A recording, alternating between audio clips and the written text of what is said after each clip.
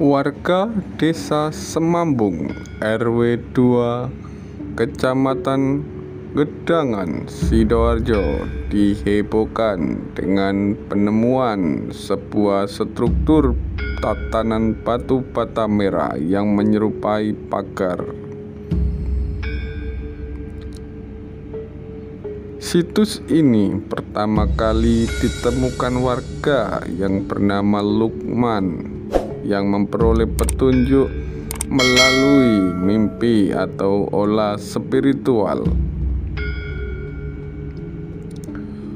Batu bata merah ini berukuran cukup besar dengan lebar kurang lebih 20 cm dan panjang 40 cm.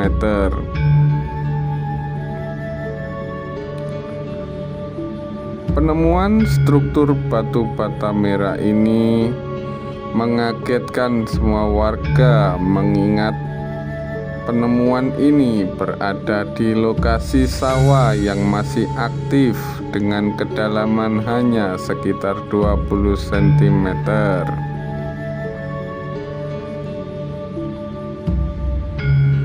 Lokasi ini berada dekat sekali dengan sebuah bandara internasional Juanda, Surabaya, Sidoarjo.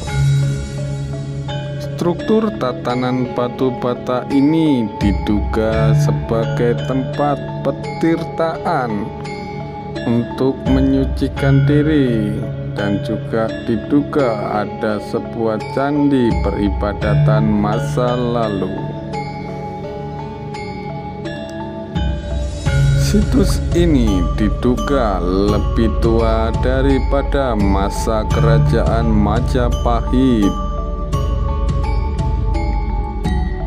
Diduga situs ini peninggalan dari masa kerajaan Jenggala maupun kerajaan Kahuripan Prabu Airlangga.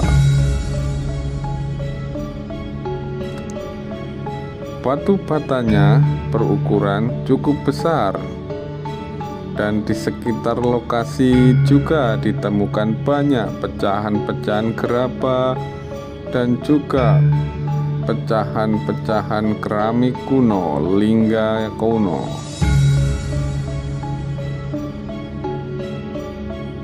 Untuk saat ini penggaliannya masih mencapai panjang 15 meter dengan kedalaman sekitar 15 sampai 20 cm. Warga berharap segera ada tindak lanjut dari pihak-pihak terkait maupun PPCP Jatim untuk segera melakukan proses ekskavasi.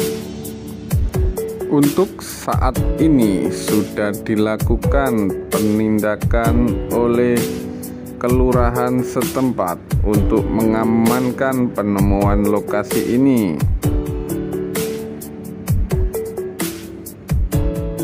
bekerja sama dengan Banser dan juga warga sekitar untuk menjaga dan mengamankan sekitar lokasi penemuan situs Semambung ini.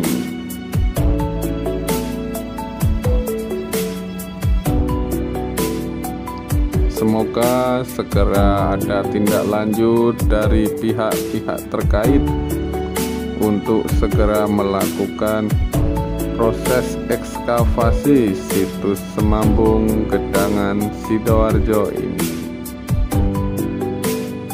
Cukup sampai di sini dulu ulasan singkat saya mengenai penemuan situs Semambung. Apabila ada salah kata, mohon dimaafkan. Sambung persaudaraan, tinggalkan perselisihan, jalin persaudaraan. Wassalamualaikum warahmatullahi wabarakatuh